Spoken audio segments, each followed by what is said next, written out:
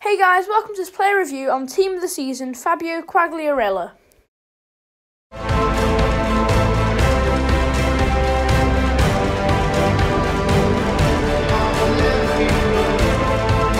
This was the team that I used him in. Um, I've switched to five at the back. Um, I got Izzo in my Serie A guaranteed team of the season pack. Well, Bobby Moore plays in CDM in game though. He he played um Quagliarella linked up really well with Del Piero in um, in the matches because Del Piero he made the space for Quagliarella to run into. In the first clip, you'll see a really good ball from Schultz, and um, Quagliarella's positioning just shows it just shows how good it is. He just makes the the run through. It's a great ball, and all he does is just slots it home and does that game after game after minute after minute, and he's always there. If if you can if you have a good enough player to play those three balls to him, he'll always be there and he'll always score the goals for you. Anyway, guys, let's take a look at his in-game stats. So let's take a look at his in-game stats. He has a four-star weak foot and four-star skill moves. In nine games for me, he scored nine goals and he got two assists. He's five foot eleven and his preferred foot is his right foot, and he has medium medium work rates.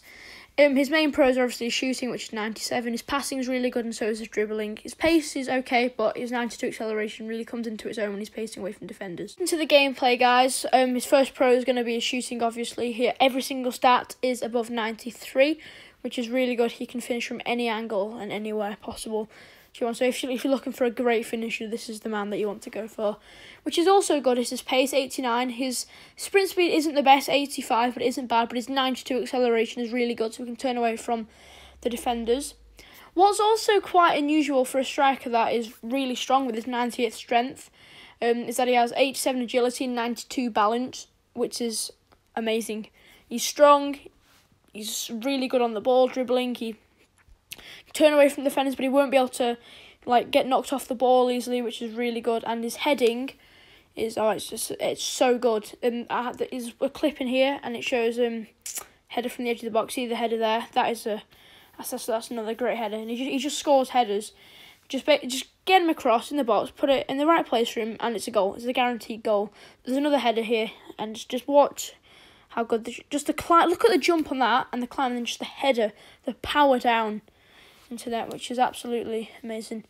He has 96 composure, which means unlike Werner, I think who has 72, which um, this is the man that you want in the one on one in the last minute, not Werner. So this is really good. Into the roundup, um, I think he's by far the best striker I've used all year.